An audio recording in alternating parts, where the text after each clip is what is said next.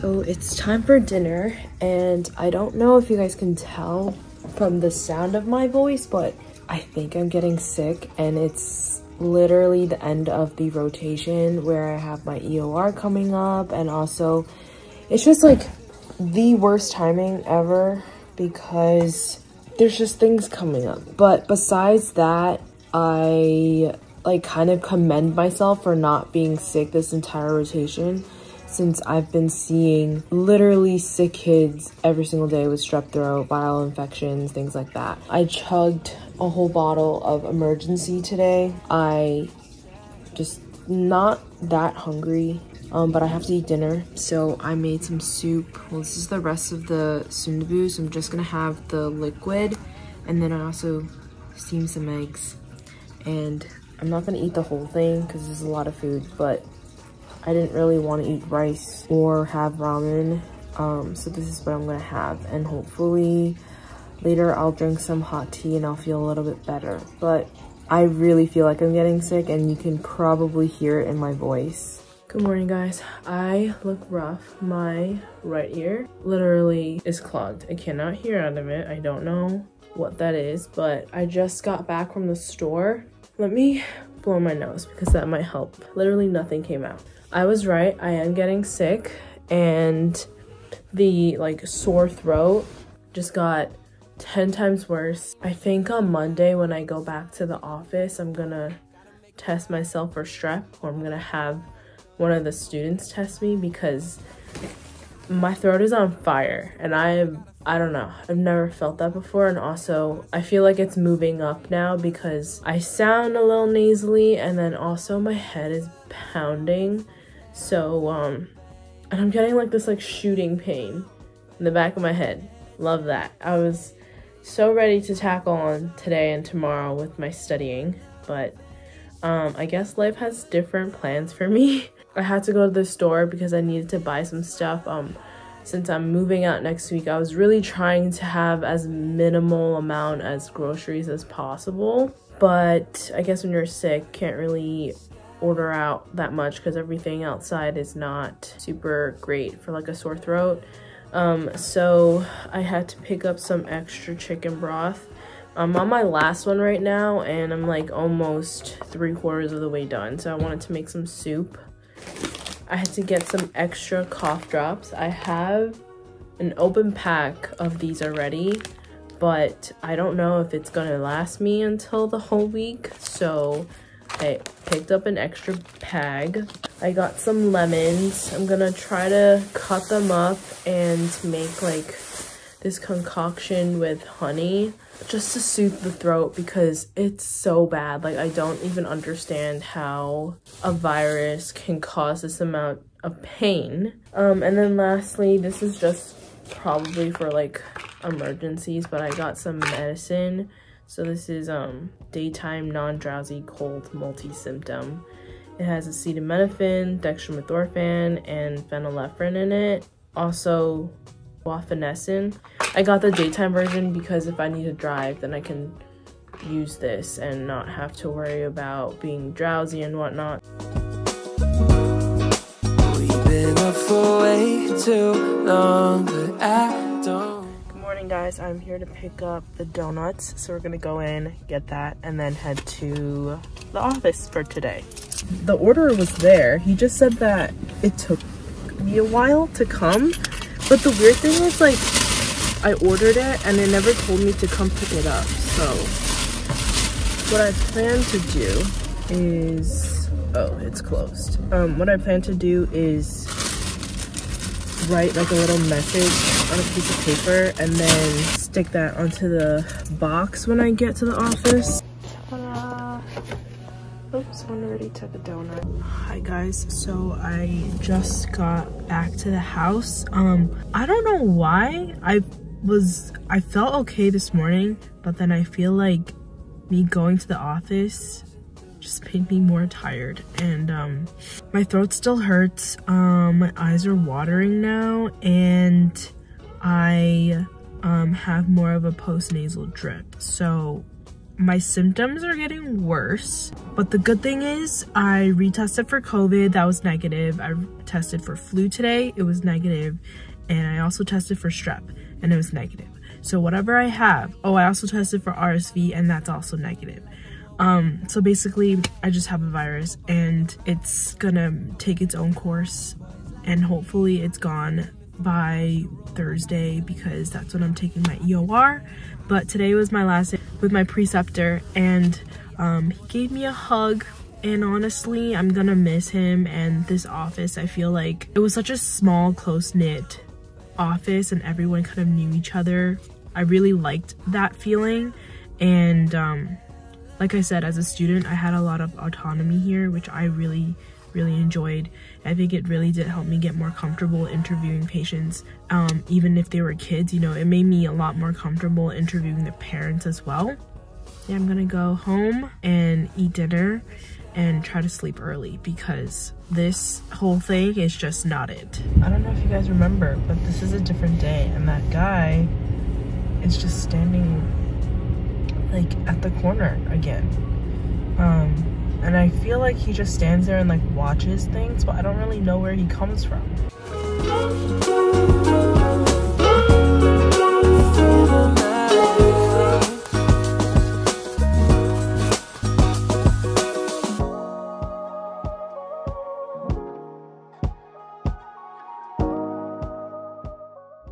Alright guys, I'm headed back to my home last couple of days I haven't really gotten that great of a sleep so I think that's why it's taking my body a little bit longer to fight this illness. And also this is the first time I've been sick since COVID started so it's been a long time. But today's weather is really nice. Right now it's about 53 degrees. So I'm headed back. And yeah this was a very nice experience I think it allowed me to really see what it was like to adult on my own and stuff like that. So I will let you know when I'm back home. All right, so I'm home. Um, I just moved everything back into my room. And like I promised, I'm gonna show you guys the wireless keyboard that I got on um, Temu.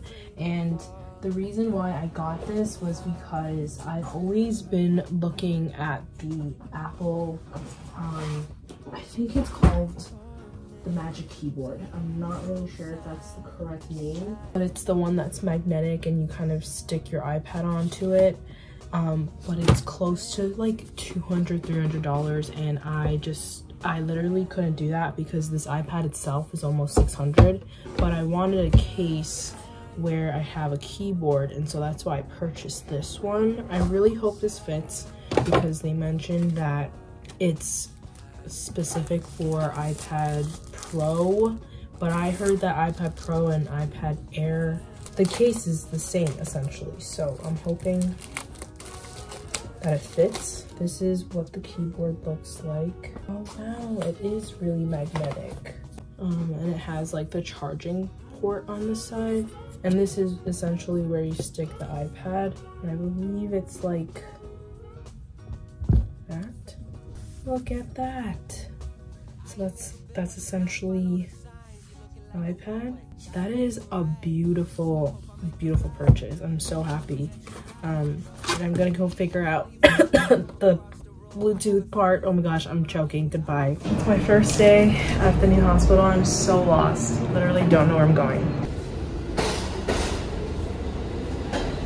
I actually have to get to the hospital by seven. So right now it's 6.20. What's really nice is the sunset is kind of coming out, so I will show you guys that when I get outside. Man, you can't really see it, but you can see the Freedom Tower from here, so I'll show you guys that. Yeah, this is how close we are to the lower side of Manhattan. Hi guys, I got home today um, and now I'm studying because I have some extra time, but um, Joey, which is Tiffany's sister, and well, Tiffany told me this too. They really like this bakery that's near the hospital that I work at. So I decided to surprise them and bring something home because they were like raving about this specific item. So I kind of wanted to see what the hype was, but essentially it's this babka just is what it looks like. Um, it looks really good, so I'm excited to try this. I've never had chocolate babka before, um, and it honestly looks really, really good. So I'm excited about that. I think I'm going to study for a little bit longer and then go take a shower and then start cooking for tonight because Tiffany and Joey are coming home late today. So I'm gonna try to get like all the food prepared and everything done by the time they get home so that they, they can just eat. And tomorrow is thursday. I have to go into the hospital. Um, essentially my schedule is five days a week seven and i'm scheduled to four but most of the times the residents will let us go a little bit early because they don't really have much for us to do. So i try to stay there as long as possible and then once i feel like all the work is done then i go. Yeah i think friday i'm gonna go home because it's just nice to see my family once in a while. But that's the plan for today. It's really loud in here so i don't know if you can hear me. But i'm currently washing my clothes in the laundry room. Hey guys so i just got home. I went thrifting again once online once in person and i kind of wanted to show you guys what i got. This is a pair of dress pants from it's from the armani collection and it's literally in i feel like that's italian. And there's also the RealReal like tag on this which i was very confused like why it was there to begin with. This was only eight dollars so i feel like that's a pretty good steal. And then I also bought this dress on thredUP because my class is trying to plan a PA prom and I just wanted to like get a dress for it. It is by Birdy Grey. Tiffany got one of her um, bridesmaids dresses for her cousin's wedding from there um, but obviously I'm wearing it for different purposes. It's not for a wedding, but I just thought that the dress was really cute and it was also on sale. It's this like light dusty purple color. They call it lilac and it says that the style's name is Devon. It's like a V cut almost and you wear it on your shoulders like this and the arms kind of come through here so this is just like sitting on your arm but I need to hem this because it is super long. But what I do like about this dress is that there are pockets in here so I can put my phone. Now I'm gonna go work out a little bit, maybe shower, and then I'm gonna start studying because I haven't really studied that much this week. Good morning guys, I kind of wanted to show you the sunset, the sunrise because it looks really nice. Um, I just finished getting ready and in 10 minutes I gotta leave the house and start heading to the train.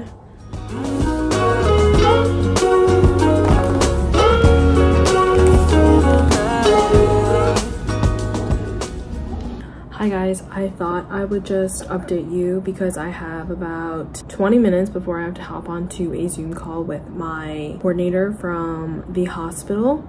But I got home before that i went to joe and the juice which you guys saw.